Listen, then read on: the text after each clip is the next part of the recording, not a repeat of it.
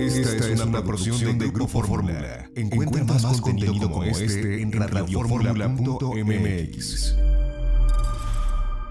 Las opiniones y promociones vertidas en este programa son responsabilidad de quien las dice.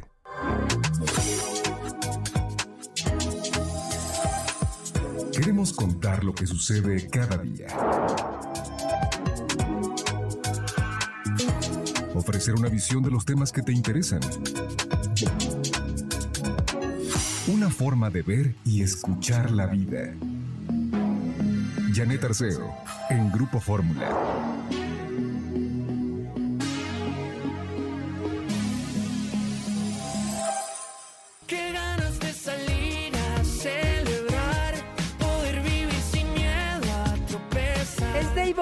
Dice, qué ganas, bonita canción para empezar esta mañana de martes, con la alegría de saludarte y agradecer que estés con nosotros. Esta sintonía es como todos los días desde hace cuatro décadas más un año y un poco más, es la oportunidad de reunirnos con gente muy interesante, es la oportunidad de reunirnos con colaboradores estupendos que siempre llegan con temas muy interesantes, los ponemos en la mesa, los analizamos, platicamos de ellos, siempre en ese tono sabroso, en ese tono que a esta hora de la mañana se antoja, estés haciendo lo que estés haciendo y que podamos llegar con algo que provoque en ti la intención de buscar más información, de que te lleves algo que puedas compartir con otros, en fin, de crecer.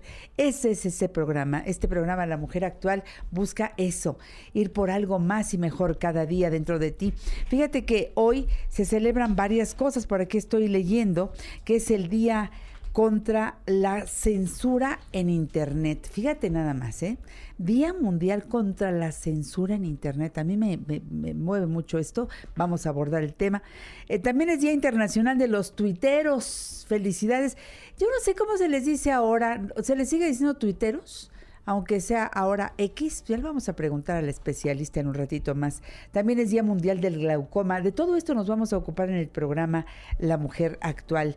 Fíjense que tendré la oportunidad de recibir a gente de veras encantadora, eh, como ya en este inicio, Claudia Arruñada, maestra en comunicación académica de tiempo completo e investigadora en inteligencia artificial especializada en comunicación digital, publicidad y marketing, integrante del Departamento de Comunicación de la Ibero. Muchas, muchísimas gracias Claudia por decir que sí a esta invitación. ¿Cómo estás? Súper bien, Janet, al contrario, muchísimas gracias por invitarme. Feliz de estar acá. Qué bueno, gracias en verdad y sobre todo los temas, los dos son muy buenos, ¿no? Sí, eh, todos están vinculados entre sí. Bueno, no el del glaucoma, este, por lo pronto eh, censura en internet y los tuiteros sí tienen por ahí su nudo de, vinculación. Y sí, es un tema, uff, con el que nos podríamos pasar horas y horas platicando. Pues trataremos de resumir para que en esta primera media hora lleguemos a, algo que nos, eh, que nos tranquilice. Sí. Porque ese, es el, ese es el asunto, ¿no? ¿Qué, se entiende por cibercensura? Primero me gustaría, eh, para que quienes nos están viendo, nos están escuchando, tengan fresca toda la información, acordémonos de qué es la censura o qué se considera censura. En términos muy generales, es cuando un agente externo eh, normalmente se le asocia a gobiernos o a circunstancias de poder, lo que hace es restringir comunicación o información para que el ciudadano o la ciudadana no pueda eh, tener todo lo que necesita para tomar una decisión. Eso es la censura. Absolutamente cierto, muy buena definición. Justo eh, sucede de muchas maneras. Se cree que es como el deliberado cerrar medios, este, eh, apagar la tele, quitarnos cosas, pero de pronto pues también es mucho más sutil. Eh, el quitar ciertas concesiones, el, como en algún momento sucedió en este país, que los periódicos no podían imprimir porque eh, la concesión del papel la tenía el gobierno, es una forma de censura. No, no te estoy cerrando el periódico, pero no te estoy dando el papel para que imprimas. Así es. Entonces, vamos, eh, hay muchas maneras en las que la censura se puede presentar y hoy en día es un tanto más sutil. Y ahora vamos a hablar de cibercensura. Cibercensura tal cual es cualquier medio empleado por instituciones. Nuevamente se le atribuye mucho a los gobiernos, pero también puede ser instituciones privadas o aquellas que tengan pues intereses de poder, intereses económicos, eh, mediante los cuales se restrinja el acceso de los usuarios a Internet. Eh, y aquí hay muchas particularidades porque a Internet lo concebimos como un ente grandotote, cuando en realidad Internet son red de redes. Hay muchas cosas por ahí vinculadas, hay espacios que no están para nada eh, reglamentados, que incluso son muy complicados para que los usuarios comunes cotidianos puedan acceder, como eh, la dark web o, esta web oculta, este, en donde, bueno, pueden suceder un montonal de cosas. También hay entornos destinados únicamente a cuestiones gubernamentales, de gobierno, militares incluso, de seguridad. Y por supuesto están los entornos en donde convivimos nosotras todos los días, al que se le conoce como la W o la World Wide Web. Entonces, ahí adentro, pues se mueven un montonal de cosas, empezando porque muchos de estos entornos, por supuesto que están reglamentados o controlados por particulares. Las plataformas que hoy en día eh, nosotras utilizamos para subir nuestras fotos, compartir nuestro día, este, consumir algo de información, la plataforma que ahorita nos está eh, transmitiendo en vivo, pues por supuesto que le pertenece a alguien, a un grupo de alguienes, y esos alguienes, pues claro que nosotros ya tendemos a entrar y suscribirnos a todo, este, y no leemos los términos y condiciones normalmente. Pero honradamente dime quién va a leer esa cantidad de información en letra chiquita, abajo dice acepto, pues aceptas, dices tú, pues todo el mundo acepta, pues si no me quedo afuera, pues Exactamente. Esa es la realidad, así es lo vemos. la realidad, y además esos términos y condiciones, por supuesto que tienen actualidad actualizaciones y conforme se va complejizando el asunto ahora que tenemos inteligencia artificial un tanto más sofisticada, que inteligencia artificial, ya lo platicamos la última vez que nos vimos, está operando desde hace un ratote entre nosotras. Así es. No, no, sabíamos qué era, pero, pero vive pero con ahí estaba. Pues bueno, eh, cada vez que esto se actualiza, se actualizan esos términos y condiciones y usualmente pues le estamos dando clic a aceptar y más bien no leemos.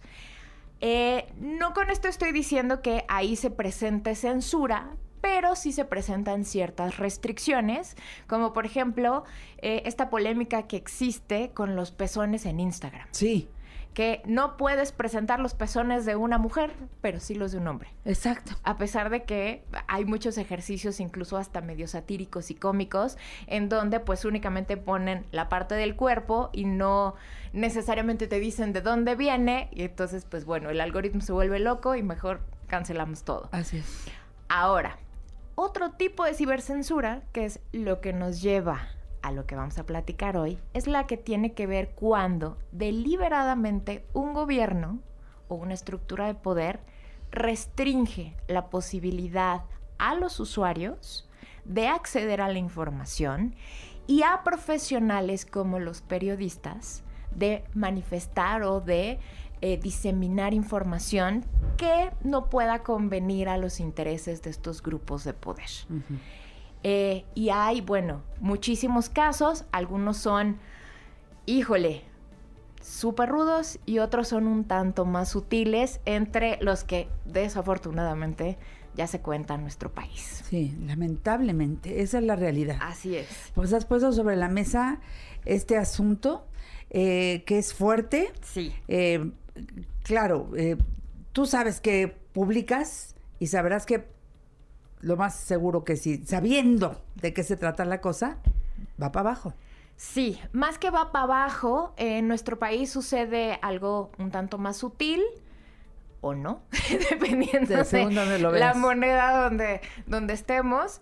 Eh, acá se ha caracterizado por una guerra de bots Sí. o de troles en donde tú emites una opinión que sea contraria a los intereses del grupo en poder o del grupo eh, que esté ahí frente al gobierno y pues bueno, te empieza a llover una cantidad de gente hasta que aquello es incontrolable. El caso es que no sabemos si es gente realmente. Exactamente, muchas Bots. veces no lo es. No lo es, exactamente. Todo está manipulado, todo está manejado.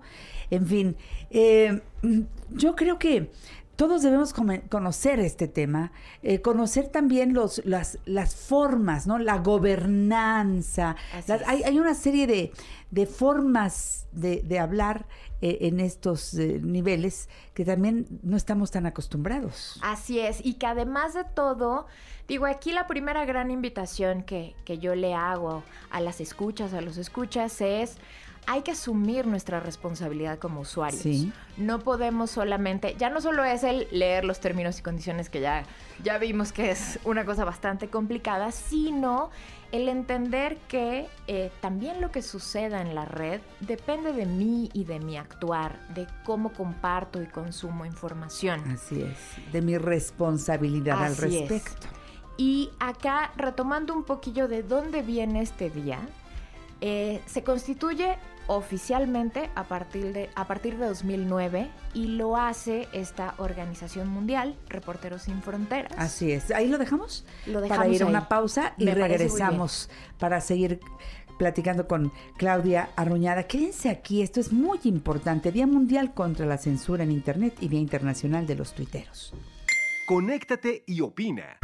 Facebook, Janet Arceo y La Mujer Actual, figura pública. Twitter, arroba La Mujer Actual. Instagram, Janet Arceo y La Mujer Actual.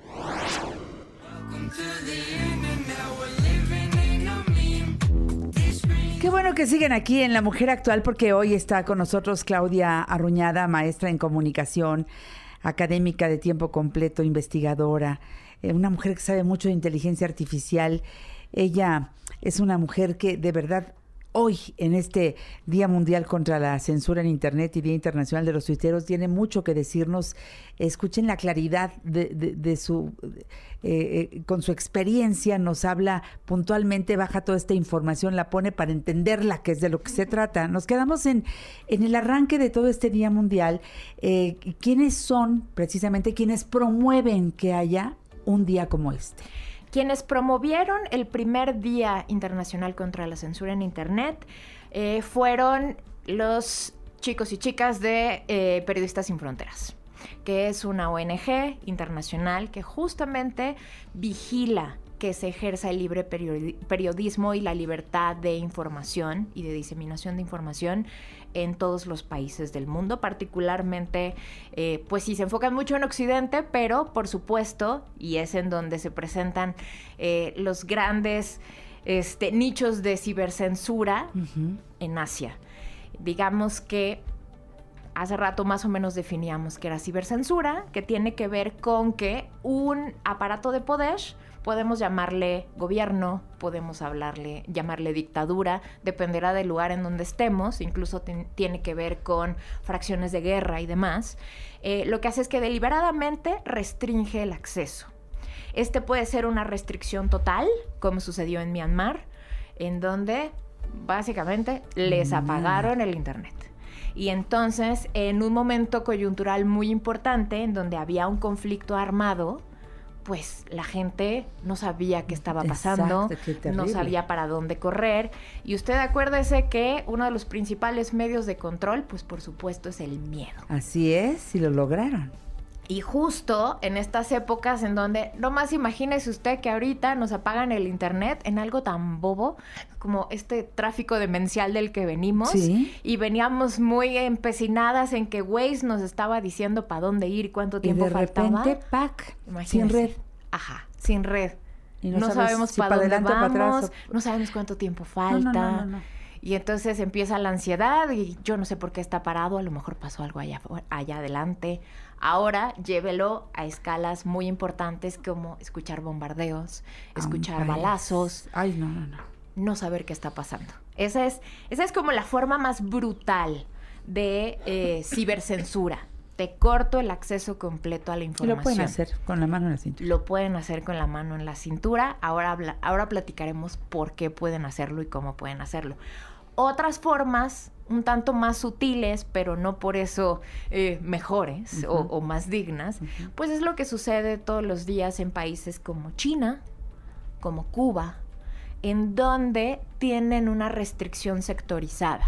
Es decir, sus usuarios no pueden entrar, o sea, aparentemente tienen acceso a Internet, pero no tienen el acceso que nosotras tenemos. Completo, así. Solo pueden entrar a determinados lugares, sí. En determinados momentos, e incluso, supongamos, pueden entrar a el equivalente de Google en China, y aún estando ahí, no pueden hacer una búsqueda con toda libertad. No. Porque hay restricciones temáticas. hay es. determinadas palabras que no les van a arrojar ningún tipo de resultado. O, por ejemplo, lo que sucede en Irán, que hay una cibervigilancia férrea, en donde eh, si por algo yo subí, tenía un blog personal, hay muchísimos casos precisamente que están protegidos por este, Reporteros Sin Fronteras. Eh, yo tenía un blog personal, acuérdese que usted puede sacar un blog muy fácilmente y con esto eh, se implementa algo que conocemos como prosumer, que es la figura más importante que tiene Internet. ¿Quién es un prosumer? Una persona que puede consumir, pero también producir información. Y cuando empezó esto, que es en el 2009, pues estaban los blogs de moda. Todavía no era tantísimo el auge de las redes sociales. Hoy en día, pues tienes TikTok en donde muy fácilmente puedes poner la cámara frente a ti de tu teléfono y grabar completamente, no solamente tu opinión, sino si está sucediendo algo. Entonces, eh, ¿qué sucede en Irán? Pues todo el tiempo están vigilando que los usuarios, si por algo tuvieron acceso a alguna red social y lograron subir algo, en ese momento son detenidos.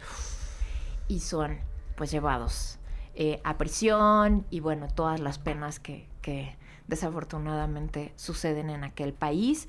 Y por supuesto dependerá no solamente de lo que dijiste, sino incluso de tu género. Las penas son mayores si mujeres. eres mujer. Claro. Sí. Esa es la realidad. Esa es la realidad. Y bueno, hace ratito platicábamos que eh, Reporteros Sin Fronteras, a partir del 2009 que instituye este Día Internacional, también saca año con año un informe eh, que le llaman el informe de los enemigos de Internet. Wow. Eh, ha ido diluyéndose, pero no con eso eh, ha dejado de ser complejo. Antes era un documento un tanto más robusto, ahorita ya no es tan robusto porque hacen otro tipo de activismo, ahora les platicaré de qué va, pero cada año tú puedes encontrar el listado de quiénes son los enemigos de Internet. Y a partir del 2020, muy desafortunadamente México entró en esa lista en donde sí hay restricciones. ¿Cómo pueden suceder las restricciones? A ver, se nos ha vendido la idea que sí, era, era como la utopía original de que Internet es este espacio libre, en donde podemos compartir información, en donde tenemos acceso a este, aprender, en fin, comunicarnos con el otro, entender otras culturas, etcétera, etcétera.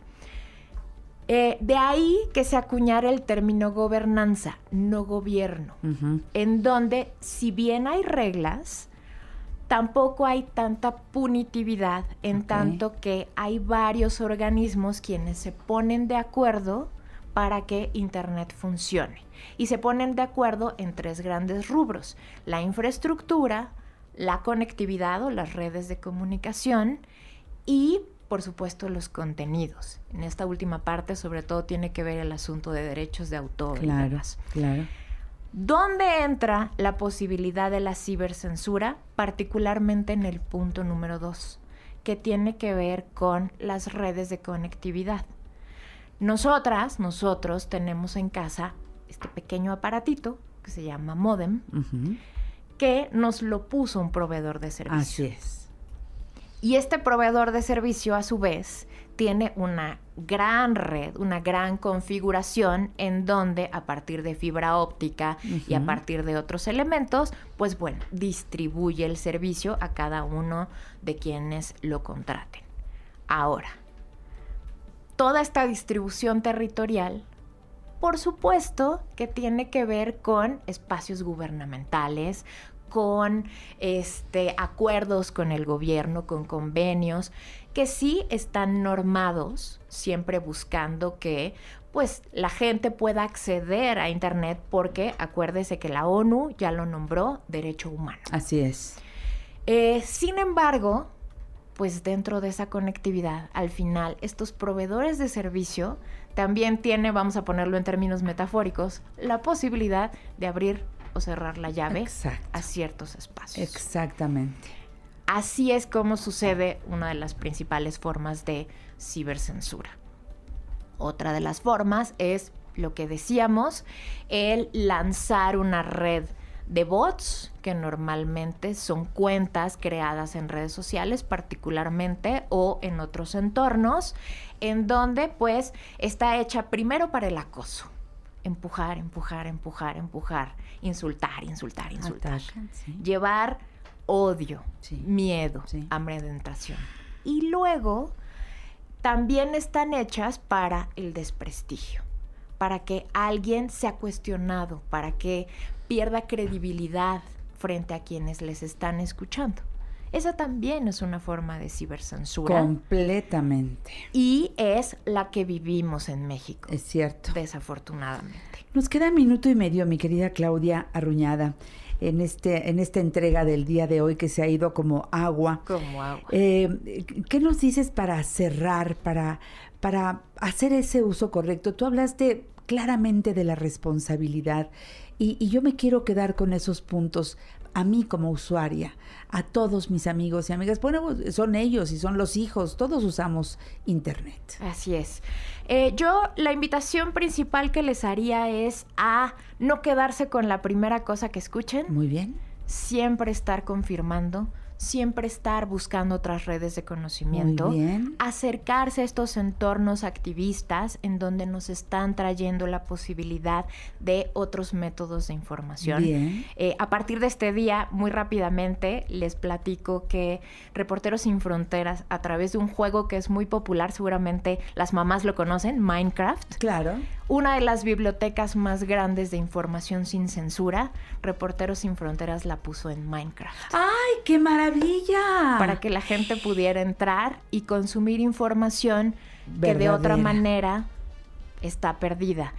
Uno de los reporteros y una de las investigaciones que están allá arriba le pertenecen a Javier Valdés. ¡Guau! Sí. Qué interesante esto que nos estás diciendo. Gran remate para que pues sepan ustedes la labor que están haciendo Reporteros Sin Fronteras. Eh, yo espero verte nuevamente, Claudia, en la próxima. Cuando tú quieras, aquí estoy. Es para mí un gustazo, de verdad, esta colaboración. Gracias, de verdad. ¿Y eh, eh, tus redes sociales cuáles son? Eh, me encuentran en Instagram principalmente como Clarsa. Estoy en LinkedIn, también échenme por ahí, me buscan con mi nombre. En La Mujer Actual nos interesa tu bienestar y el de tu familia. Consulta a nuestra gran familia de especialistas. 55 5279 2290 y 55 5279 5790.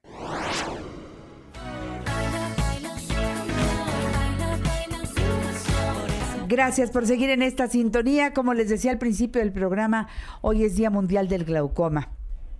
Y buscamos a un supermédico para estar con nosotros en el programa y logramos que nos diera el sí para esta entrevista. Es el doctor Juan Manuel Paulín Huerta, jefe de oftalmología del Centro Médico ABC Santa Fe. Doctor, gracias, gracias, gracias. Qué bueno que podamos hablar de glaucoma con una autoridad en la materia como lo, es usted, ya rompimos el turrón, como lo eres tú. Correcto. Gracias. Primero, gracias por la invitación y por la lindísima introducción. Sí, día importante, eh, Día Internacional del Glaucoma. La idea es ahora hacer una medicina preventiva y el glaucoma sigue siendo una causa de ceguera a nivel mundial, no solo en el país. pero es un, tipo de ceguera, una causa de ceguera tratable cuando se detecta a tiempo. Esa es la, clave. A eso vamos a llegar paso a paso. Debo decirles que el doctor eh, Paulín Huerta se formó como médico cirujano en la Universidad La Salle es su alma mater. Asillista de corazón, sí. Realizó la especialidad en el Instituto de Oftalmología Conde de Valenciana. Qué lugar, ¿verdad? Un lugar mágico. Mágico. Lleva muchos años haciendo una labor importante por todas las personas que tienen un problema en sus ojos. Sí, te diría que mucho trabajo y al mismo tiempo pues una gran enseñanza el poder colaborar con tantos pacientes que requieren de una atención especializada. Somos un hospital escuela también, de donde yo muchos años fui, fui maestro e instructor y pues bueno, la, vida nos tiene en la jefatura del Centro Médico ABC. Qué lindo. Pero es algo que mantenemos, sí. Y además ahí se le hizo un homenaje hace poco a nuestro amigo Alex Cruz. El doctor Alejandro Cruz, que por años estuvo colaborando con nosotros en, en, La Mujer Actual, un hombre al que de verdad eh, respetamos mucho, un magnífico oftalmólogo. Eh, un, un, hombre además muy querido en su gremio. 100%. Alex Cruz, que es un gran médico, extraordinario cirujano, pero sobre todo un gran ser humano hoy con algunos temillas de salud, pero, pero lo queremos bien y sí, recientemente le hicimos un homenaje, un bien merecido homenaje. Bien merecido, porque los homenajes deben ser en vida, doctor, en vida. Y el que todo el público, la gente que, que sintió sus manos, eh, le agradece eternamente. Ustedes eh, que devuelven la vista, ustedes que, que hacen todo porque una persona vuelva a ver, que tenga, pues es que todos los sentidos son importantes. Sí. La vista. Pero la vista. Ay, doctor, de veras que aquí sí es, es fundamental atendernos. Eh, eh, eh, tenemos dos, sí, qué padre que tenemos dos ojos y hay que cuidarlos a los dos, todos. Los dos tienen, tienen una razón de ser, de estar. A, una amiga radio escucha de este programa, doña Elvia Young San Román, la acaban de, de operar eh, de catarata y me dice, todavía no veo bien. Qué difícil es no ver bien, Janet, me dice. Eh, eh, pues sí, un, ojo que no funciona y ya pierdo la tercera dimensión, este, me choco con las cosas. Me... 100%, claro, porque además no, no, no tratamos, no operamos un ojo pensando que tenemos otro de repuesto, no. El valor que cada uno de los órganos tiene. Y sin duda alguna te diría, como bien expresas, ¿no? Todos los sentidos son importantes, pero nada como la visión, ¿no? Y somos, yo lo digo todos los días en la consulta a mis pacientes, somos privilegiados de vida de poder hacer este trabajo y no sabes las historias que se viven en la consulta. En esa primera vez en tu paciente que viene pues minado porque ve borroso y cuando lo das de alta en esa última consulta, cuando lo ves sonriente, cuando lo ves con una mirada pues no solo agradecida, sino iluminada, ¿no? Nada, nada como volver a ver. Bendito sea Dios. Pues eh, vamos a hablar de glaucoma, doctor. ¿Qué es? ¿Qué pasó en ese ojo? ¿Por qué glaucoma? Hay que hablarle de glaucoma, sí, y yo quiero robarte unos segundos para primero explicar cómo funciona un ojo brevemente y aterrizarlo en el glaucoma. Maravilloso. El ojo es como una pequeña cámara fotográfica. El ojo tiene un sistema de lentes en la parte anterior y al fondo el rollo fotográfico. Los lentes son dos, uno por fuera, uno por dentro. Por fuera la córnea, los problemas de graduación, miopía y hipermetropía son problemas de la córnea. Adentro tenemos otro lente, el lente interno, que se encarga de la visión cercana, el cristalino. Un lente que nos deja de funcionar y nos da la presbicia o vista cansada y que al tiempo se nos opaca y que le cambiamos de nombre, le llamamos catarata. Es la disfunción y opacidad del cristalino y que quienes somos cirujanos de catarata lo que hacemos todos los días es quitarlo por uno nuevo. Un poquito lo que me platicabas de tu paciente. Quitar ese, ese como callo que se fue formando. Es una lenteja que era transparente y ahora es opaca y que ahora con los avances de la cirugía actual podemos pulverizar y reemplazar por una prótesis del cristalino. Es ciencia ficción pura, Janet, de ya lo que se puede hacer un ojo. Y aparte, ¿en cuánto tiempo se hace esa son operación? 15, 20 minutos de, de, ¿Y en cuánto tiempo puede volver a ver El paciente, Sale, sale viendo de su cirugía. ya es otra cosa lo que se puede hacer en un ojo. Entonces, digamos, es la parte óptica del ojo, es, es el lente de la cámara.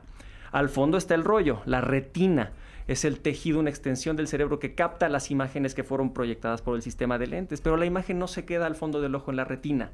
La imagen viaja por un cable que lo conecta al cerebro, que se llama el nervio óptico. Es la unión del ojo con el cerebro y esa información llega hasta el cerebro, la corteza occipital y lo entendemos con mi visión. Bueno, el glaucoma es una de las muchas enfermedades del nervio del cable que conecta ojo con el cerebro. En sí, el glaucoma es uh. una enfermedad neurológica. Por eso es tan importante diagnosticarlo a tiempo, porque como cualquier daño a un nervio, el daño es irreversible. Allá en el fondo del ojo, digamos. Sí.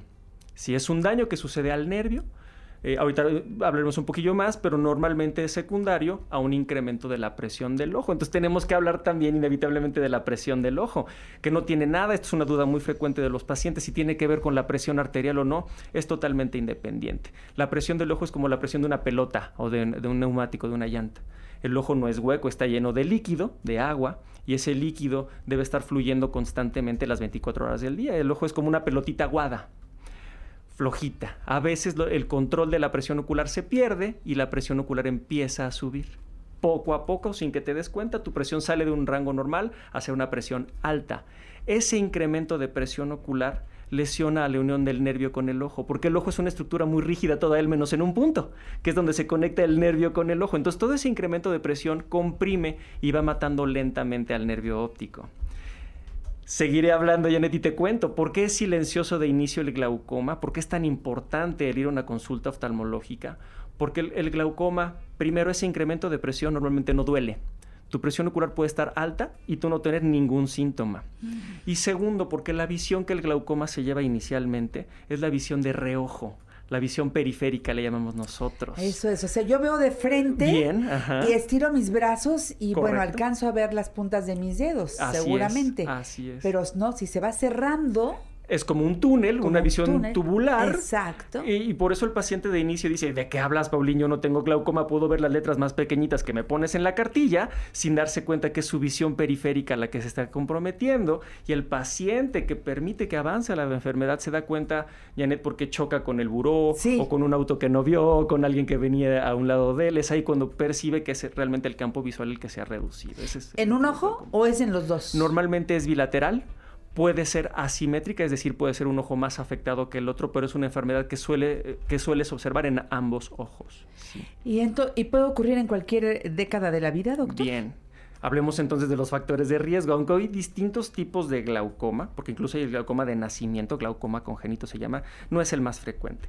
El más frecuente, hay los dos más frecuentes se conocen de ángulo abierto y de ángulo cerrado. Pero el más frecuente de todos, el, que te acabo de platicar, eh, es el glaucoma crónico de ángulo abierto, el silencioso, el lentamente progresivo.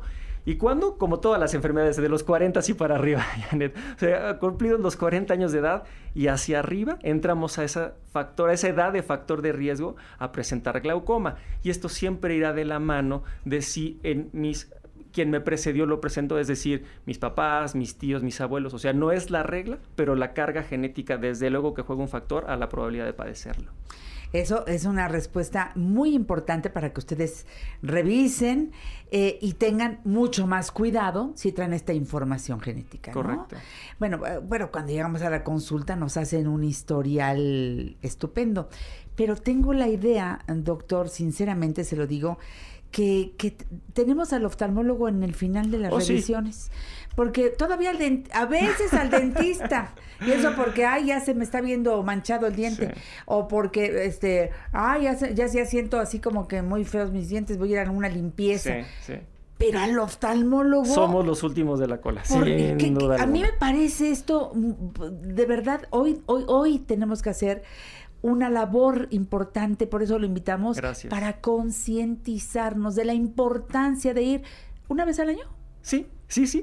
o sea, no tengo ningún problema, nada más una vez al año. Una vez al año a un check-up oftalmológico. O sea, y, yo creo que lo que acabas de mencionar es lo más importante de yo creo de esta entrevista y es, y es mi, nuestra misión y, el, y, el, por qué estoy hoy aquí porque lo que queremos es hacer una medicina preventiva, no esperar a que algo me duela o que algo que vea borroso, tengo un ojo rojo o doloroso para buscar atención, porque justo así como el glaucoma, hay otras enfermedades que pueden dejarte ciego, Janet, como el desprendimiento de retina, donde el ojo no duele, no se pone rojo, no ves de inicio borroso, a lo mejor ves alguna mosquita o alguna lucecita que se te prende en la periferia de la visión y resulta que llegas con la resulta desprendida buscando atención urgente. Entonces, ese tipo de cosillas que no se conocen porque no hemos sembrado esa información en la comunidad, en los pacientes, es nuestra labor ahora, hacer una medicina preventiva y lo regreso al comentario.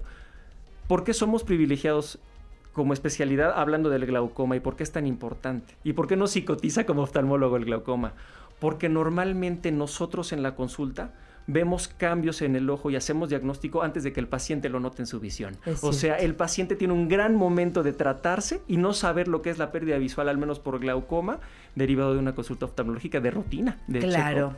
Vámonos a la pausa. Regresamos en un momento con el doctor Juan Manuel Paulín Huerta. Él, él está en el Centro Médico ABC Santa Fe, como lo dije al principio de la entrevista, y, estoy muy contenta con su presencia. Y aparte, qué rico nos platica, ¿verdad? Eso ya me encanta. Volvemos después de una pausa. Gracias. En La Mujer Actual estamos aprendiendo al lado de los mejores especialistas. Aclara tus dudas. 55 5279 2290 y 55 5279 5790. Tu mirada tierna que siguen aquí en el programa La Mujer Actual. Estamos hablando del Día Mundial de Glaucoma con el doctor Juan Manuel Paulín Huerta, jefe de oftalmología del Centro Médico ABC Santa Fe, que me tenía en el corte comercial, pero verdaderamente entusiasmada. Ya quiero ir a conocer todas las bondades que tienen allá en, el ABC, porque pues están, al, digamos que al último grito. Sí. Lo que, lo que hay en el mundo para atender hoy que estamos hablando los ojos, lo hay en México. Ay, qué bonito escuchártelo. Sin duda alguna, sí. Y te lo digo con, con suena a presunción, pero que es con mucho orgullo. Orgullo es México. De las eh, cosas que hay que hablar que ocurren en México, doctor. Que, que, no es eh, algo diferente, que lo mejor de lo mejor en el mundo lo tenemos aquí.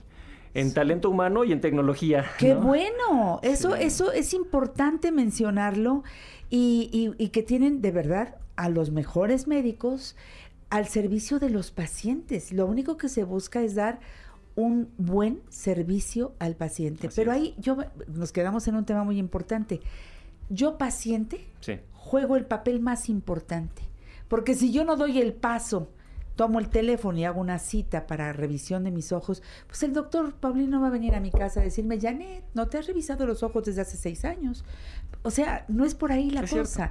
Mientras no haya esa conciencia, y eso estamos haciendo hoy, doctor. Sí, y, y, la verdad es que veo con agrado, no es lo habitual, ojalá lo fuera, pero ya vemos, ese, se empieza a abrir esa puerta de esa consulta preventiva, ya no es raro ver uno que otro paciente que venga, no porque tenga algo, sino vengo por mí un check-up, ya ganamos todos. Por eso, por eso me ves que me preguntas si yo me suelto hablando, porque es ese momento de esa consulta de primera vez, esa oportunidad que tenemos para sembrar un montón de información y de ideas que van de la mano de la prevención y evidentemente si hay algo que atender, informar al paciente de, su diagnóstico y de las distintas opciones que tiene terapéuticas. Pero Entonces, el glaucoma sí se puede detectar oportunamente. Sí, sí. El glaucoma es, es una enfermedad, es como, es como, eh, digamos, el diagnóstico es como un rompecabezas que se hace con muchas piezas, no se hace con una o dos, vas juntando distintas piezas que al final terminan en un diagnóstico cuando te asomas al fondo de ojo y ves las características del nervio, ya vas ahí si, si ves alguna de las características anatómicas que sugieren en glaucoma, lo correlacionas con la presión ocular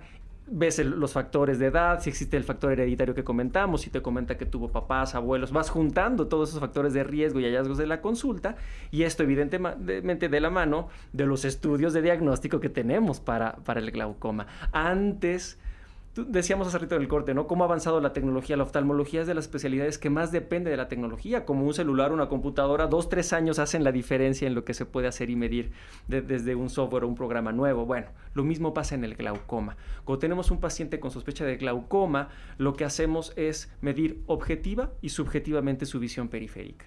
Objetivamente existe un estudio que se llama campimetría visual automatizada, que es una máquina, una computadora que mide la visión periférica del paciente. Al paciente se le da un botón, un, control con el cual registra si vio o no vio distintos estímulos luminosos de la periferia de su visión y se mide de manera objetiva con imagenología del nervio óptico. Vamos y fotografiamos al nervio óptico y son estudios, aparatos que nos pueden contabilizar a altísima precisión la cantidad de fibras nerviosas que tiene el nervio y decirnos con inteligencia artificial si cae en el rango de glaucoma no por el grupo de edad. En fin, es una qué locura. maravilla! y esto no solo, Janet, como diagnóstico al momento, sino como un parámetro de comparación al tiempo. Los mismos equipos te van diciendo, este es Janet 2014, 16, 20, 25, y, y al tiempo contar una historia. A lo mejor hoy no tienes glaucoma, solamente tienes factores de riesgo, pero en 5 o 10 años sí. Entonces, eso es lo que te permite cachar al paciente eh, de, manera oportuna y, si es necesario, iniciar tratamiento. Eh, esa, esa primera o esa cita eh, dirá el doctor cuándo es la siguiente. Él marca el ritmo, digamos, de acuerdo a lo que vio. exactamente. O sea, si, si no ves nada, es una consulta sana, nos vemos en un año esto no me encanta, no me parece un glaucoma, pero quiero tenerte cerca, nos vemos en seis meses. Exacto. Y uno debe ser muy, muy puntual, porque se trata de estar bien, se trata de vivir los años que nos toque vivir con calidad de vida, doctor. Correcto. Y se puede. Eh, entonces, glaucoma se corrige solamente con, puede ser tratamiento o hasta, hasta una intervención quirúrgica. Exactamente. O sea, lo primero es tener certeza del diagnóstico. Ya tenemos diagnóstico de glaucoma, vamos a hacer tratamiento y el tratamiento está fundamentado en bajar la presión ocular. Por eso era importante hablar de ella. Claro. O sea, todo, todo radica en bajar la presión ocular y dependiendo de qué tan alta está esa presión ocular es la estrategia. Normalmente empezamos con gotas. Eso es lo bonito de la historia. O sea, al final del camino, si, si resulta en que esto sí es un glaucoma, a lo mejor la única diferencia hace que el paciente aplique una gota una o dos veces al día en cada uno de sus ojos y se acabó el problema, se acabó la progresión, así como controlas tu presión o el colesterol o la diabetes, la glucosa, lo mismo pasa con el glaucoma. Y ahí vas escalando, hay una, dos, tres, hasta cuatro sales diferentes que el paciente puede aplicar. ¿Por qué somos muy cautos en si el paciente lo requiere o no? Porque inevitablemente todas las gotas que bajan la presión del ojo, algo, alguna factura cobran. Normalmente son gotas que tienden a ser irritantes o resecan al ojo. Y vivimos en un entorno con mucha polución y mucha contaminación, que si le sumas ese factor, pues pierdes el apego del paciente al tratamiento. Oye, yo no me sentía mal y me dejaste una gota que me pone el ojo ahora sí reseco y rojo, no es buena la idea. Entonces, pero digamos, eso va de la mano del inicio de tratamiento. También hay cirugía, cirugías, distintas opciones de cirugía que sirven para, bajo otros caminos, bajar la presión ocular. Ejemplo, el paciente que con gotas ya no, no, estamos en un rango seguro de la presión lograda, podemos ir con cirugía. O pacientes que por distintos motivos, por ejemplo, no tuvieron buen apego a tratamiento, no les sentaron bien las gotas, podemos ir a cirugía. Pero quiero comentarte algo más. También la medicina ha avanzado en eso. Y ya hay tratamientos láser no invasivos, o sea, no cirugía como tal, el paciente no va a quirófano, no lo duermes, no abres el ojo.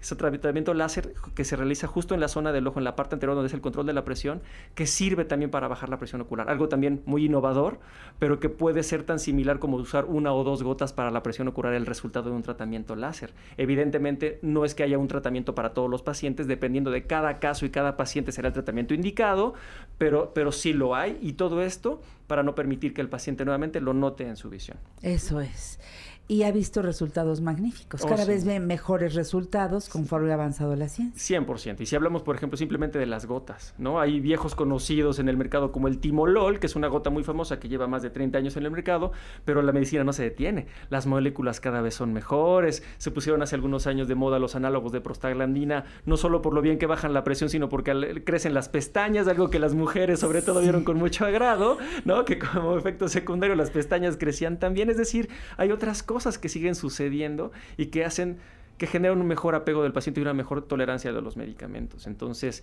pues dependiendo de cada caso es que podemos ir con una gota o con un tratamiento láser o con los dos, ¿no? Dependiendo de lo que se conoce como presión meta. ¿Cuál es la presión que queremos lograr en el paciente? Y ese paciente. Correcto.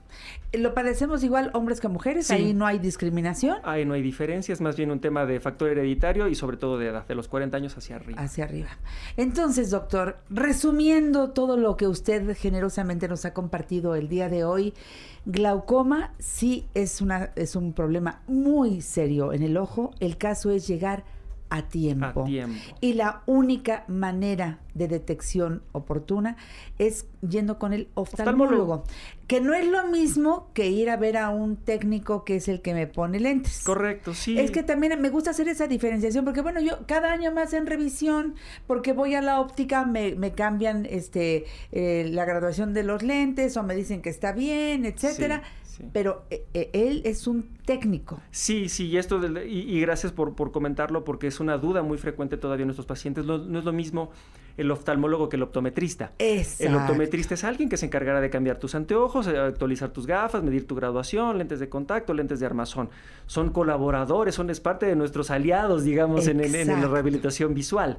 Pero el oftalmólogo es un médico que primero estudió medicina y después hizo una especialidad y generalmente una alta especialidad, como es mi caso. Entonces, engloba un diagnóstico y una revisión integral del ojo asociado al conocimiento médico que, ese doctor tiene. Entonces tú juntas lo que sabes de medicina interna o de geriatría, o si me explico, al, al terreno ocular. Lo explico de otra forma. Te decía yo que somos privilegiados porque entre otras cosas nosotros podemos explorar, ver por dentro del, del, órgano que estudiamos. Por ejemplo, el cardiólogo tendrá que hacer algún estudio de imagen, un electrocardiograma, un ecocardiograma. Nosotros nos asomamos al ojo y vemos el sangrado, vemos el desprendimiento, vemos la catarata, está ahí al frente de nosotros. Entonces, eso nos permite tener mucha precisión eh, eh, cuando se tiene el conocimiento del diagnóstico y decir que muchas enfermedades que vemos en el ojo nos permite inferir cómo está el resto del cuerpo, como es la hipertensión o la diabetes. Qué interesante. Doctor, yo quedo eh, de verdad, primero agradecida y luego eh, con una invitación abierta para seguir teniendo presencia suya en este programa La Mujer Actual en la medida de sus posibilidades. Tenemos mucho, mucho de qué hablar.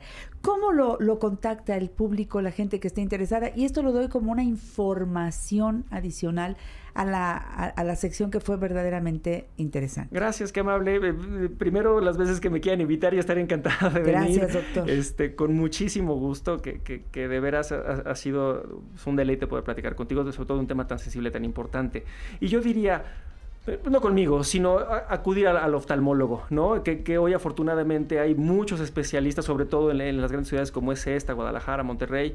Eh, hay, grandes eh, colegas capaces que, que, podrán hacer un diagnóstico tan importante como este en un check-up habitual. Y bueno, desde luego con nosotros en el Centro Médico ABC el teléfono es el 55 91 52 20 20. Es el conmutador del centro médico, donde, donde cualquiera que marque ese número podrá, pedir una consulta oftalmológica conmigo o cualquiera de, nuestros eh, médicos, que de verdad es solamente gente altamente capacitada. Ya después te contaré lo, lo complejo que es ser médico de Y usted está en las, en las redes sociales también. Es correcto.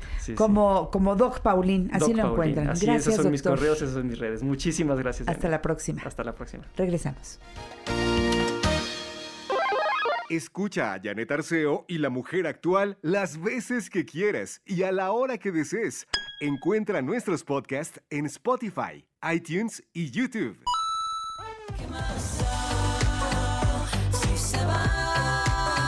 Seguimos aquí en La Mujer Actual y estoy feliz de ver a mi siempre bonita Tere Vale. Doctora, ¿cómo estás? ¿Por qué me haces esa cara?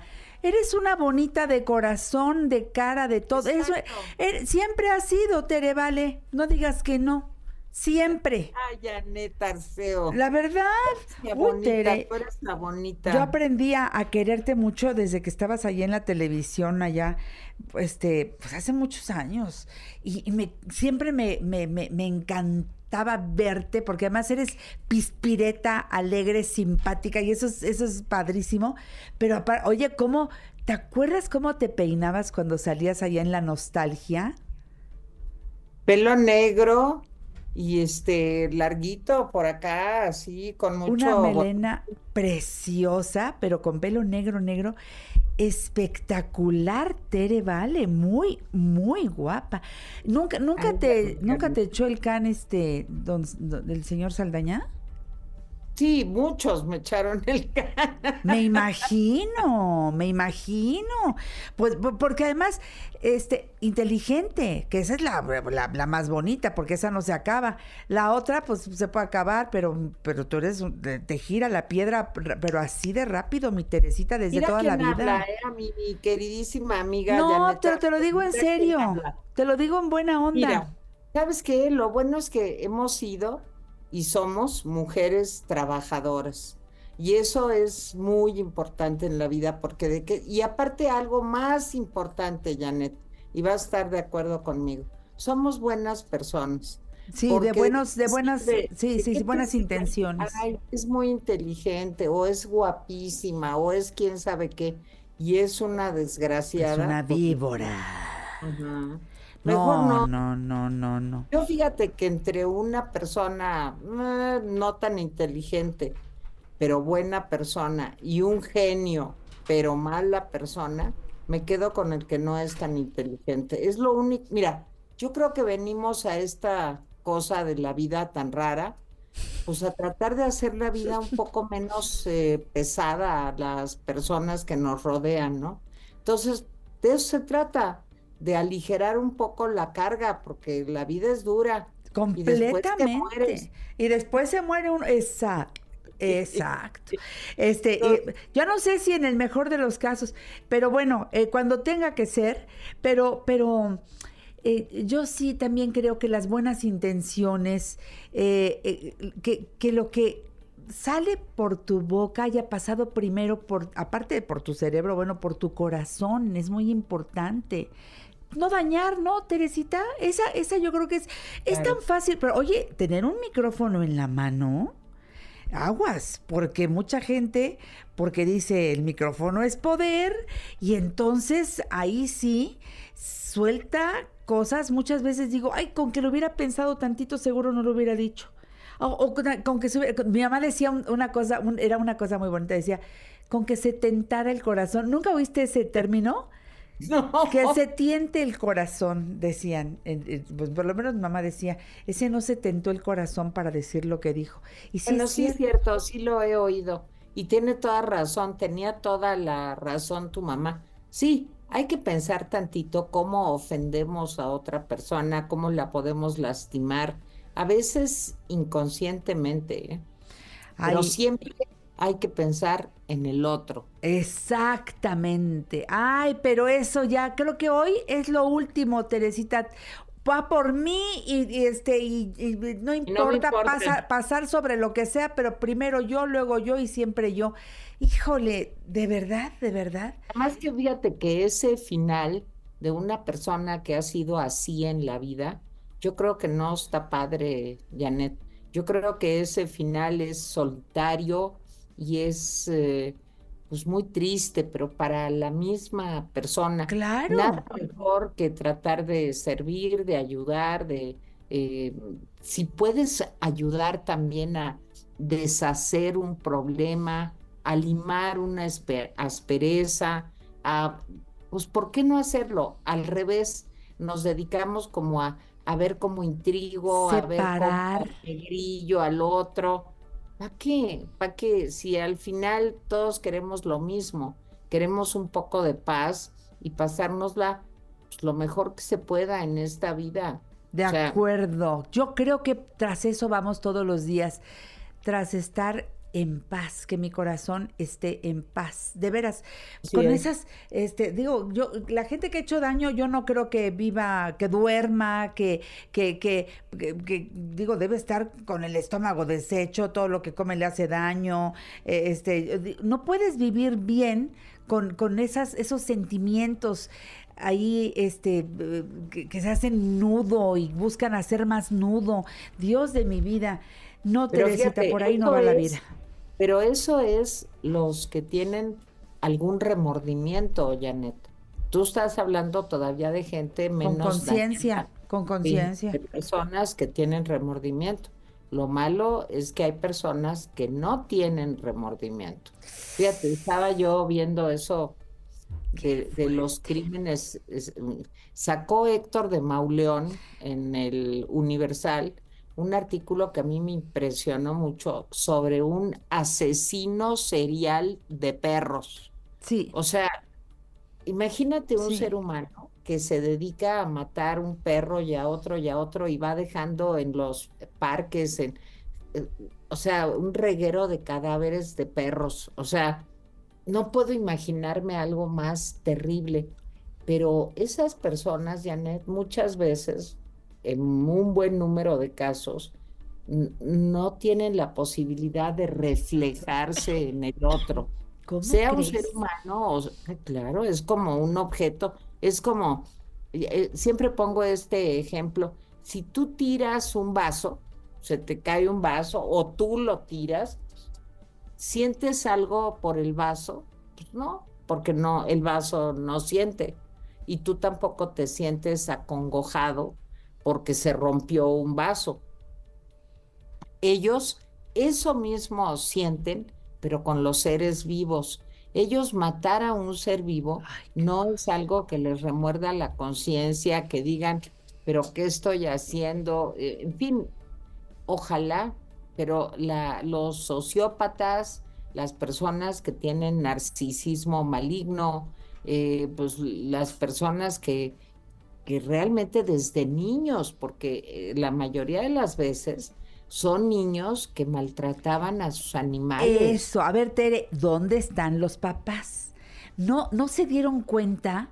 Tenían que corregir eso cuanto antes. Tú no puedes maltratar a un ser vivo, eh, porque la formación es tan importante que crecieron como enredaderas o qué. Sí, sí, sí, sí, sí, silvestres. Pues mira, muchas veces los papás también pueden producir eso. Digo, no en todos los casos. Pero fíjate que los niños que abusan, bueno, los adultos que abusan, que abusan sexualmente o físicamente o lo que tú quieras, son hijos de papás o mamás que abusaron de ellos. Eso sí está muy estudiado. Eh, entonces, si un niño, imagínate, de 6, 7 años, pues se da cuenta que el papá golpea a la mamá, eh, que a veces el propio papá es el que, pues es horrible lo que voy a decir, pero el que viola al niño o a la niña. Sí, sí. Porque esas cosas también pasan. Claro. Con papás, mamás y padrastros y madrastras. No, obviamente, tampoco es para satanizar la figura del padrastro o de la madrastra. Hay, digo, papás, mamás, padrastros, madrastras, que son pues buenas personas también. Pero cuando pasa eso en, un niño de 6, 7 o menos años, digo, hay cosas que no las puedes creer, de violaciones a bebés, a niños de 3, de 4 años, pues fíjate que esos niños si logran crecer y en fin, pues pueden tener un problema también de este tipo, porque es como vengarse un poco de la vida, Janet, es como a mí me pasó esto, pero ahora yo se los voy a hacer a otros. Y eso es la desgracia total. Por eso la violencia en la casa es algo que tiene que estar pues muy controlada, vamos a decirlo así. Un papá que dice, a mí no me importa porque esta vieja y llega borracho y le pega a la mujer, le pega a los niños. Lo que está sembrando es una familia pues disfuncional. Una cadena. una cadena. Está fabricando esa cadena porque como no es em, denunciado, como no se busca ayuda profesional para sanar todos, entonces, eh, eh, se piensa que así es la vida y que así tiene que ser, y punto. Sí, nomás que eso, como tú dices, genera a largo plazo problemas cada vez más serios. Vivimos en una sociedad hiperviolenta. Sí, sí, Tere, sí. Qué bueno que tomamos ese tema hoy. Eh, perdón, nos, nos fuimos y creo que está muy bien que hablemos de esto, porque es lo que está pasando ahora. Si está pasando, vamos a hablarles a nuestras amigas, si está pasando eso en tu casa, estamos, acabamos de vivir el Día Internacional de la Mujer. Vamos a seguirle por ahí, Teresita Linda, ¿te parece? Regresamos después de un corte. Tere Vale en La Mujer Actual, qué alegría. ¿Te gusta el tema? En La Mujer Actual nos interesa conocer tu opinión. Llámanos. 55 5279-2290 y 55 5279-5790. Las estrellas fuego el cielo. hay sueños imposibles ni tan Qué bueno que siguen aquí en el programa La Mujer Actual, hoy que estamos con Tere Vale, que pues me encanta cuando se pone esta, esta cachucha como periodista, eh, psicóloga, porque ahí es una mezcla preciosa, Tere. Eh, de lo que ves, de lo que está pasando, pero además desde, desde, desde todos tus estudios como psicóloga, y estamos hablando de la violencia que se genera en casa. y mira, hablábamos ahorita antes de volver al aire de que es preferible una figura paterna ausente a una figura presente violenta.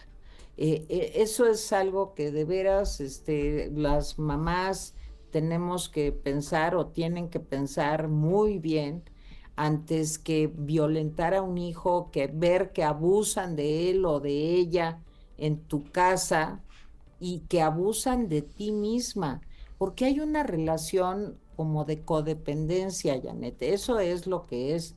O sea, una mujer que el marido le pega, la maltrata o no le pega, le pega psicológicamente, que también es una forma de agresión terrible. Estás muy fea, estás muy gorda, a mí no se me antoja nada contigo. Es, eso es violencia de género y eso es violencia contra una mujer. Así es. O el marido que la trata como si fuera invisible. Es que no necesariamente te tienen que pegar físicamente para estarte dañando psicológicamente. ¿Cómo crees que se puede sentir una persona que siente que no vale para nada, que no importan sus opiniones, que al hombre pues que no le hace caso como mujer porque la desprecia? Eh, o hay violencia económica también. Así es. Hay muchos hombres que el dominio es a través del dinero. Este, no te doy, te doy lo que yo quiero. Oye, es que me quiero comprar unos zapatos. No, fíjate que no aquí. Primero soy yo, aunque él se lo gaste con los amigos en una borrachera. Yo por eso digo, Janet, y esto es muy importante ahora que pasó el Día de la Mujer, que lo más importante es intentar conseguir la independencia económica. Afortunadamente ya muchas mujeres se han incorporado a las filas de la población económicamente activa, pero todavía falta muchísimo. Y sabes también por qué. Por el abuso de que nosotras tenemos toda la carga de la casa, Así es. del cuidado de los ancianos, del cuidado de los enfermos, y los hombres no, porque el día que una mujer le avisan en su trabajo que su niño se sintió mal en la escuela, la mujer es la que va y dice, perdónenme, pero yo ya me voy y no te importa si pierdes el trabajo o pierdes lo que sea para ir a ver a tu hijo. Los hombres siempre están muy ocupados. Bueno, estoy hablando de generalidades. Desde luego que hay papás extraordinarios y que, en fin, comparten con la mujer la enorme responsabilidad de, de criar a un hijo.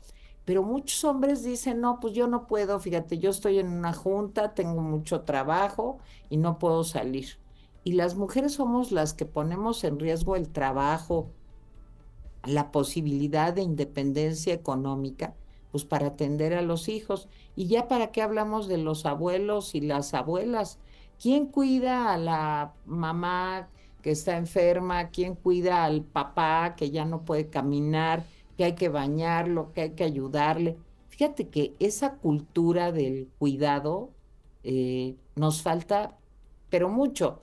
Acaba de presentarse una ley con relación a esto. Sí. Porque ¿cómo le pides a una mujer que sea independiente cuando tiene tantas obligaciones con las que cumplir? Tiene que estar pendiente de lavar la ropa, de hacer la comida, de que los niños hagan la tarea, cosa con la que yo no estoy de acuerdo para nada este, eh, con que la abuelita, pues que se sintió mal, que hay que llevarla al doctor, que no sé qué. Pues eso es un trabajo que debería de ser pagado. Remunerado, claro. Calcula que, que una mujer por el trabajo en la casa pues debería de estar ganando entre 20 mil y 30 mil pesos mensuales. Claro. Hace. Claro. Porque es jardinera, psicóloga, enfermera, maestra, cocinera, eh, lavandera. Pero es un trabajo invisible. Solamente se nota cuando no lo hicimos porque nos enfermamos o por X circunstancia. Y, y solamente en ese momento se reconoce la labor. Ay, sí. Ay, claro, cuánta falta me haces pero yo no quiero que me necesites, pues hay que hacer trabajo en equipo, Teresita. Claro, pero ¿quién claro. hace el equipo? Pues es que todavía la participación de los hombres en el trabajo doméstico es muy baja. Janet. Pero tampoco enseñamos a los hijos, Teresita. Entonces, pues ahí está la cosa. A mí se me pasó un poco la mano con mi hijo. Porque, porque te voy a decir una cosa. Hijo viene aquí a brindar o lo que sea que me dice, a ver mamá, paso a verte, ¿no? Y entonces viene y pues, ya la señora que me ayuda pues ya se fue a dormir y estamos Nico y yo y nos tomamos un café y nos hacemos un sándwich, haz de cuenta. Y entonces yo le digo, bueno, Nico, pues ya, entonces ya te vas. No, no, pero voy a lavar los trastes. Es un precioso. ¿Cómo? ¿Cómo? Y yo, no, Nico, los lavamos mañana, mañana en la mañana. No, mamá. No se va hasta que deja todo. Él no puede, ni en su casa, ni en la mía. Así es irse a dormir si hay un plato sucio. Bueno, es educación, Ter, es educación y son buenos hábitos. Es que para esto no hay mujer y hombre. Todos, que sepas poner, eh, eh, si tienes una lavadora, bendito Dios, bueno, pues que sepas poner la lavadora y sacar la ropa y que sepas cuánto detergente se le pone, que sepas hacerte de desayunar, de comer, de cenar, que estés atento de lo que pasa con los hijos. Pues es que es un trabajo en equipo, no hay, no es te ayudo, es que yo le ayudo a mi vieja, no, no le ayudas. ¿Ves, partes iguales, pues partes iguales. Ahora, muchas mujeres, Janet, dicen, es que no me puedo mantener sola, es que cómo le voy a hacer, haz de cuenta, tienen tres hijos, vamos a ponernos en un, una buena idea, tres hijos, porque yo tengo mamás de personas que trabajan conmigo, en fin, que han tenido, escucha, diez hijos, trece hijos las mamás. Y entonces imagínate una mujer atrapada toda la vida entre un embarazo y otro, ¿cómo te vas a ir o a dónde te vas a ir con 10 hijos o 13 hijos? Ahora, pongámonos en el caso de que tienes dos o tres, porque eso ha mejorado algo.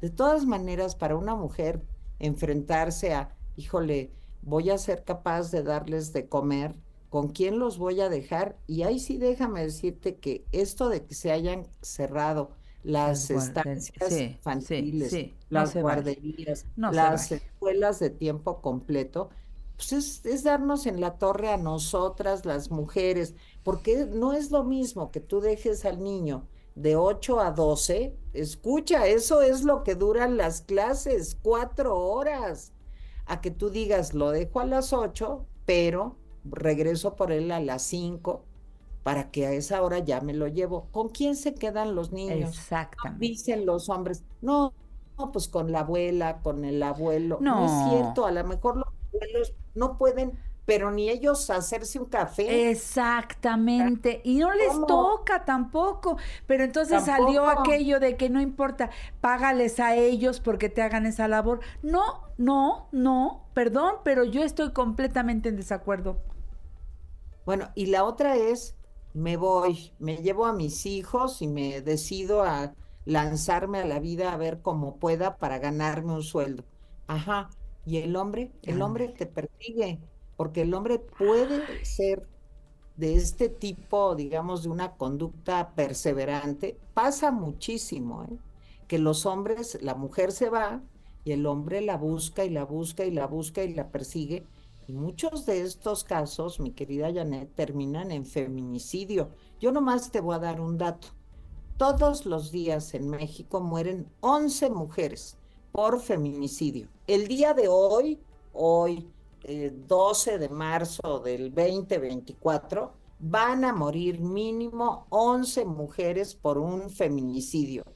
¿Por qué? Por eso, porque se enojaron, porque el, ex marido, porque el ex papá de los hijos, porque el ex novio, porque, o sea. El ex papá. Me gustó el término, pero no existe ex papá. Sí, claro que hay ex papás, ¿cómo no? Por supuesto. No, ellos presumen que son los papás de las criaturas, pero nunca han dado ni un centavo. Exacto, Nada. pero deja un centavo. Nunca se han preocupado por una enfermedad. Nada puedes entender, híjole, está desempleado ahorita, bueno, pues yo trabajo y ayudo y algo, pero cuando las cosas se componen, ellos no se componen. De acuerdo, Tere. Ay, Tere, qué bueno estuvo el tema de hoy, qué bárbara. No, no, es que es muy duro, de veras. Tenemos que hacer conciencia, tenemos que fijarnos muy, que los hijas, las hijas se fijen muy bien con quién, que los hijos se fijen muy bien con quién Aguas. y que los hijos agarren la onda de que todos somos iguales. Todos, hagamos equipo. No, yo le ayudo a mi mamá. No, no, no. La casa, el hogar es de todos y lo cuidamos entre todos, lo limpiamos entre todos. Teresita, te sigo en X, arroba Terevale MX, en YouTube, Terevale. Bueno, todo lo que haces, me encantas, Tere. Mi querida Janet, a mí me encanta todo lo que tú haces. Te quiero, te mando besos, gracias. Hasta el próximo. Nos vemos dentro de 15 días. Dios mediante. Bye.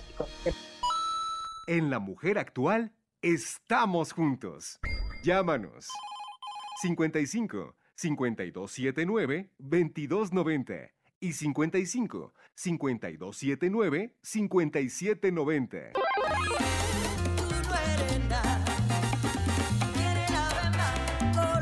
Nomás les digo que hoy es día de recibir. La cámara no sé dónde está. Si está acá, si está acá, no lo sé. Pero bueno, ahí Alejandro sabe.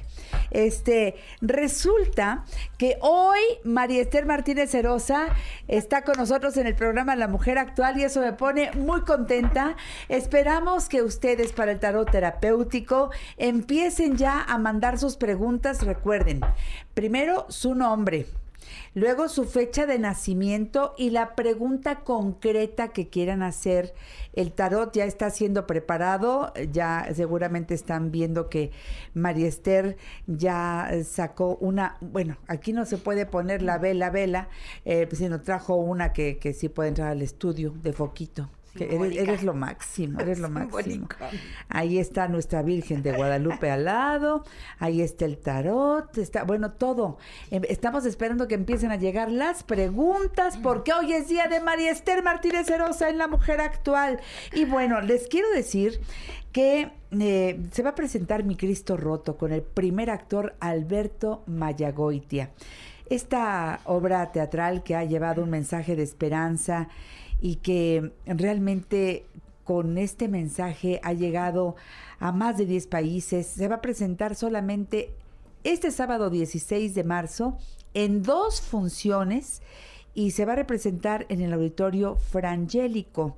Va a venir Alberto Mayagoite a México y va a presentar esta obra Mi Cristo Roto Sábado 16 de marzo, recuerden ustedes, Centro Cultural Universitario, no es Centro Universitario Cultural, Odontología 35 en Copilco Universidad, a la una de la tarde y a las 5. Son los dos horarios para ver este sábado Mi Cristo Roto. Los boletos están en Boletopolis, boletopolis.com.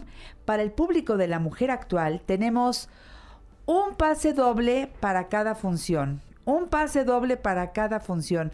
Los ganadores deben presentarse 40 minutos antes en la taquilla del teatro. O sea, si ustedes se lo ganan hoy y antes de que termine el programa voy a decir quiénes se ganaron, pero primero pregunten si van a poder ir, no le quiten la oportunidad a otras personas. Entren a la tómbola y voy a decir hoy antes de que termine el programa quienes van a ver Mi Cristo Roto este sábado. 5552-792290, 5552-795790. Para Facebook, Janet Arceo y La Mujer Actual, para X arroba La Mujer Actual. Alberto Mayagoitia, por cierto, va a estar con nosotros. ¿Cuándo viene Ivette? El viernes, ¿verdad? Si es que me lo dice y está con la boca tapada, entonces es difícil que yo capte que me dice el viernes, no, pues no, no veo nada, no veo nada. Pero bueno, este, bueno, pues seguimos aquí. Y yo estoy contentísima que en la siguiente página de esta revista familiar por excelencia esté mi preciosa María Esther Martínez Rosa, a quien vi antes del cumpleaños. Sí, y aparte me llamaste un día y me dijiste, tembló y tú dijiste que iba a temblar en febrero, ¿te acuerdas? No, bueno, es que tú no sabes, ese día de los dos jalones, fuertes que se sintieron, lo primero, después de hablarle a Jimena y decirle, ¿estás bien? Y todo, ella ni lo sintió porque estaba... Nos tocó en una zona nada más. No, pero estaba manejando. Ah. Sí se sintió porque toda la gente del edificio salió. Pero ella estaba saliendo justamente en su coche y no, se dio cuenta. Bueno, le puse el mensaje a Marista y le dije, a ver, a ver, ¿de qué se trata? A final del año, tú dijiste en febrero. En febrero va a temblar, sí. Pero además, después de que me hablaste, yo le dije a mi mamá, mm, no es este. Digo, todavía falta otro. Y vino otro de cinco puntos. Sí, ya sé. Entonces, y mira, yo espero que ahí quede el asunto. Yo dije que de aquí hasta octubre esperemos que así la madre tierra se tranquilice. Nos dijiste entre septiembre, octubre. agosto y septiembre. Dije en septiembre no nos va a faltar nuestro temblor. Exactamente. Bueno, ay, bueno. yo te escucho, te veo. Eres, eres una mujer con una percepción muy especial. Eh, eres una maestra en el tarot. Yo te respeto y te admiro mucho, al igual que muchos otros magníficos conductores de programas, que tú eres la invitada especial, eres la estrella.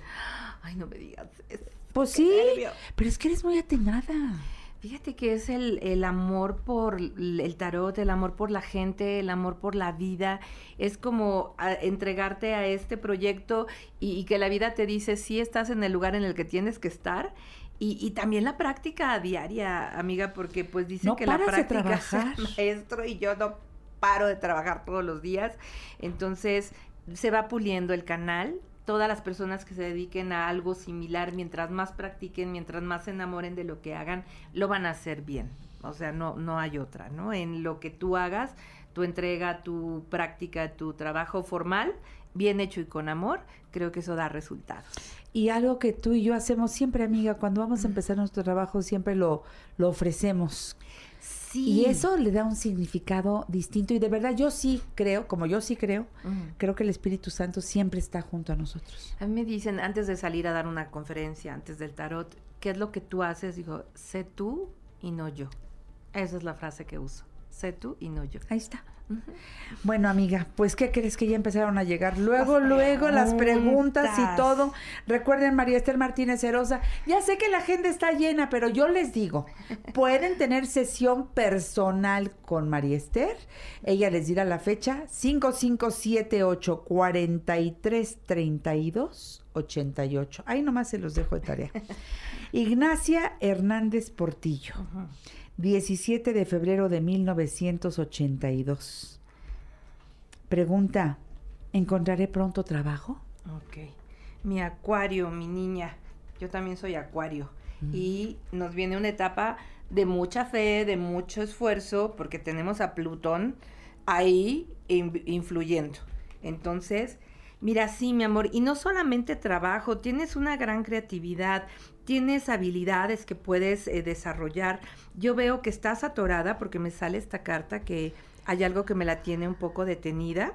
Está como amarrada esa, esa, esa imagen. Y la siguiente carta es lánzate, inventa, crea, eh, ten fe, porque viene una época de una buena estabilidad económica. Entonces, toca todas las puertas que tengas que tocar. Las, eh, los mexicanos son muy creativos, ¿no? Ahorita hay muchas oportunidades que puedes crear y no te detengas. Viene una buena época. Bien, bravo. Mario Jiménez, para que veas, ahí están los chatos de la mujer actual. Gracias. Dice Mario, 28 de abril de 1965. Ok. ¿Mi relación de pareja mejorará? A ver, Ay, Tauro, vas a decir, ¿para qué le pregunté a esta señora si me va a regañar? Mira, eh, veo una relación que se ha lastimado mucho, una relación que ha sido ya dañada. Haz de cuenta que aquí estás tú, aquí está la pareja y en medio hay una plantita que se llama la relación. Ya esa plantita me la tienen como cenicero. Entonces hay que llegar a un acuerdo a ver si vale la pena recuperar la plantita o hacemos como una tregua, un, distanciamiento sano eh, y, hay que platicar. Yo siento que alguien está muy a la defensiva, que como que necesitan respirar profundo y hablar.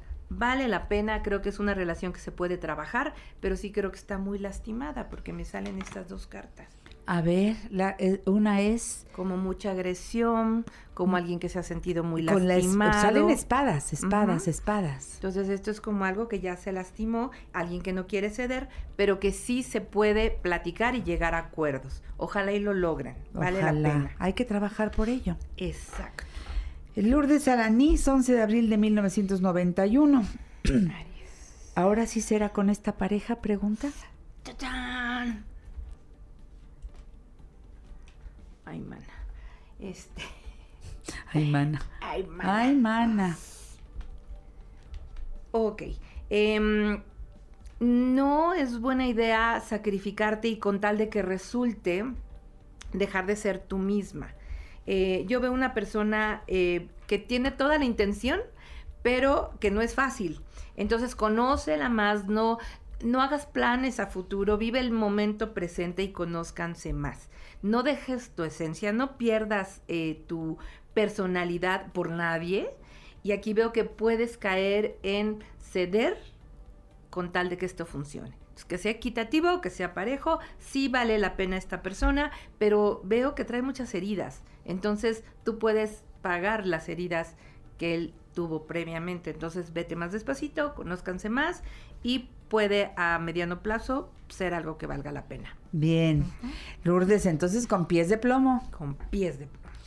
Eh, vámonos con Memo. Memo Sánchez, 25 de junio de 1975. Otro chato. Dice, ¿qué mes? Cáncer.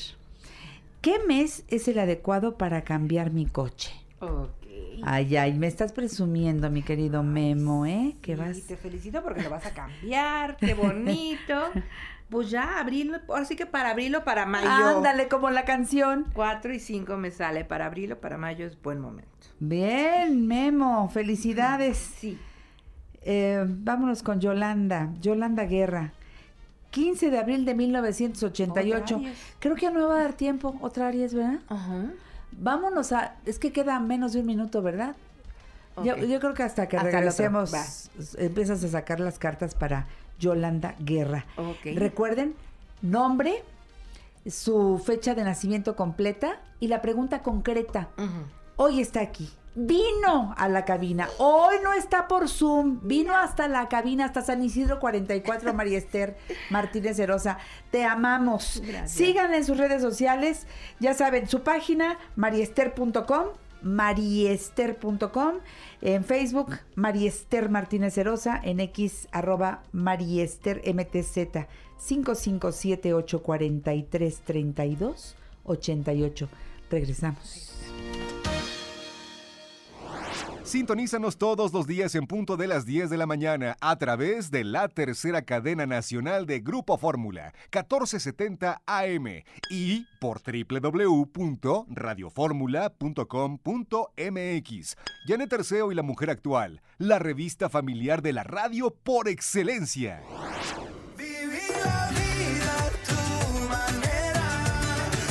Seguimos aquí en La Mujer Actual. Yo muy agradecida con ustedes que nos acompañan dos horas todos los días y que podemos escuchar a una gran familia de especialistas como hoy a María Esther Martínez Herosa. Ay, me da un gusto enorme verte, amiga, y que traigas tantas, eh, eh, tantos comentarios que nos sirven como una guía muy importante, muy importante. Nos quedamos con Yolanda Guerra. Ok. 15 de abril de 1988. Dice, tengo dos hijos y estoy casada.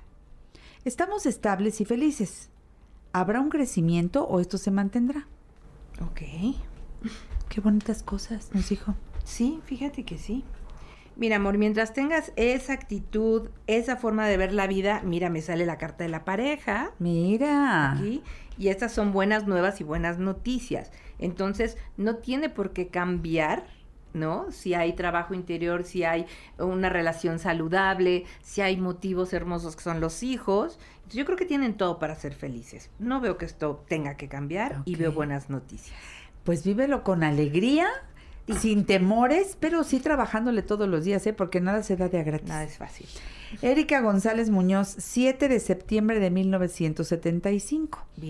¿Cómo me irá en el amor? Ay, mi reina, ver, veamos. A ver qué te dice el tarot. Mira, mi amor, yo creo que es muy importante que salgas de repente del, encierro emocional que, que, has creado. A lo mejor eh, te sentiste muy lastimada y dijiste no gracias y ahora que ya te estás abriendo a la oportunidad pueden pasar cosas mágicas, pero hay que sanar un corazón que está lastimado, dejar eso atrás y abrirte a las nuevas posibilidades. Yo creo que vienen buenas cosas. Ay, qué bueno, mi querida Erika.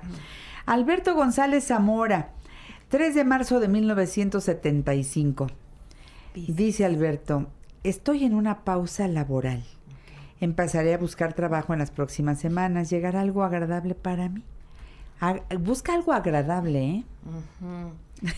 Sí, va a llegar. Creo que estás como que de repente estás dejando pasar oportunidades.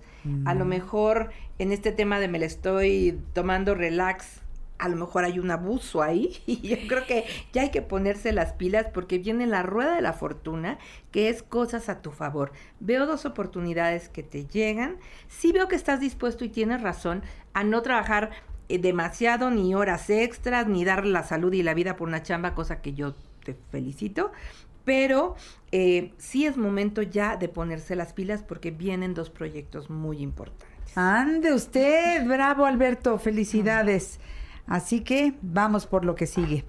Lorena Franco, 3 de febrero de 1973. Ok. ¿Qué pasará con mi trabajo? Me siento atorada, no avanzo. Ver, otra Acuario. Es que Acuario es inquieta. Acuario no está quieta ni un ratito. Em, mira, amor, yo creo que es buen momento de mantenerte ahí porque sale como que las oportunidades por fuera ahorita no están muy abiertas. Em, salvo que llegue un momento en el que digas, el ambiente laboral ya no puedo más, me estoy enfermando, entonces digo, si ya te sientes en ese punto, sí, pero si no, dice que eh, ahorres, que te capitalices, eh, pero cuando tú digas, es, ya estoy dando hasta mi salud a cambio, entonces ya no está padre. Sí vienen cambios, pero todavía no. Ah, bueno. Despacito, despacito. Pero sí vienen cambios, sí Lorenita. Eva Martínez, 28 de diciembre de 1981. También pregunta cómo le irá en lo laboral. Ay, ese tema, ¿verdad? Pues es que el trabajo, amiga, y este año... La economía. ¿Ya viste?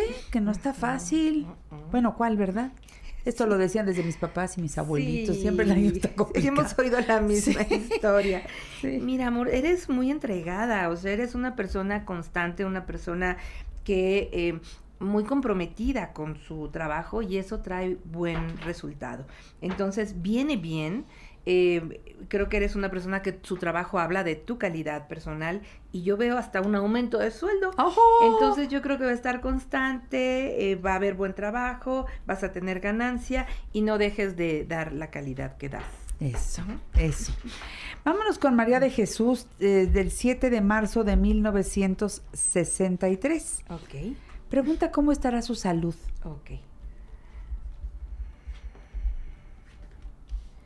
Pues mira, sí me sale un, como que has atravesado una serie de eventos no muy graves, pero como achaques, achaques.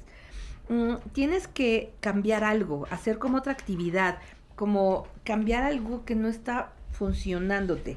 Hay que salir a caminar, hay que ir a respirar aire puro más cerca, o sea, no sé, un bosque, un parque, algo. Y yo no veo un tema de enfermedad, pero sí veo que tienes que cambiar ciertos hábitos. Entonces ponte en manos de un nutriólogo, de alguien que te guíe y yo te veo larga vida, mi amor, pero si esos achaques hay que atenderlos. Exactamente, muy bien.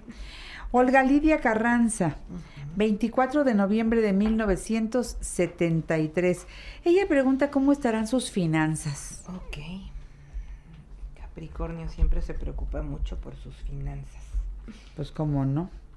Bueno, es que hay gente que no, ¿verdad? Hay gente que dice, no, Dios proveerá. Dios proveerá. No pasa nada. Mira, amor, lo que pasa es que vienes de algún momento en el que ya tuviste una caída importante. Veo mucho temor, creo que hay mucho temor, y el miedo atrae. Entonces, trata de cambiar el temor por gratitud, por eh, esos decretos de esto se multiplica, Dios provee efectivamente cuando yo lo colaboro con Él pero supera esos miedos. Lo que me preocupa es el miedo a la pérdida y hay que trabajarlo. Exactamente. Muy bonito consejo.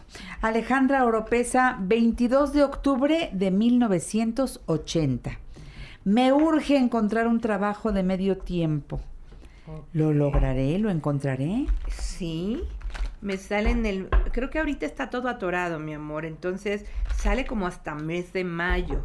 Ah. Mm, cuando dices me urge, cuando nos entra la urgencia, eh, nos entra la ansiedad y así no se logran buenas cosas. Sí, es cierto. Entonces, inhala, diseña tu día, medita, haz oración para que tú estés calmada y tranquila y entonces las oportunidades se acerquen. Ah, ahí está Alejandra. Pues yo creo que sí vas a, vas a lograrlo. Eh, dice Juan Cruz, del 8 de febrero de 1955, el mejor año. Siempre digo el mejor año. Eh, ¿Cómo estará mi estado de salud en los próximos meses? Pregunta Juan. A ver, Juan. Mira, mi amor, si me están saliendo temas de ansiedad, por ahí hay un tema en la espalda también, no estás durmiendo bien. Eh, y todo esto son señales de que hay que atender algo. Entonces aquí me sale un especialista, un check-up, dicen que el que busca encuentra, ¿no? Pero si encontramos algo no va a ser grave, nada más algo que ah. sí tienes que atender. Pues sí, pero pues también hay que buscarle, amiga, porque si no, si llegamos tarde al diagnóstico, pues eso es lo que no deseamos. Correcto. Paulina Martínez, 16 de agosto de 1983. Ok. Las cosas no están bien con mi pareja, pero no la quiero dejar. ¿Se podrá recuperar la relación? Bueno, es que no es tan bien como que hay una escala, ¿no? Mm. ¿Qué tanto no es tan bien? Porque como salió en una lectura que acabamos de hacer, me sale otra vez algo de violencia. La violencia puede ser física, puede ser verbal, puede ser no me habla y eso es violencia.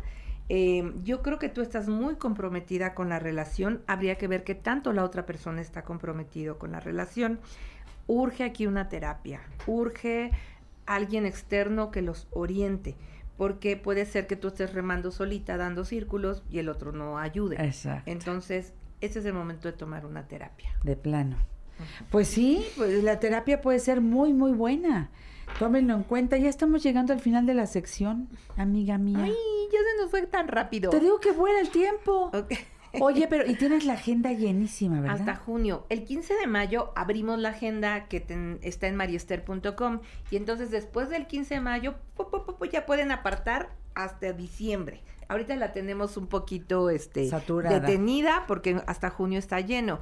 Pero como dice Janet, mándenme mensaje por WhatsApp, insistan, insistan, insistan, porque luego tengo 700 mensajes sin leer y eh, hay que insistir.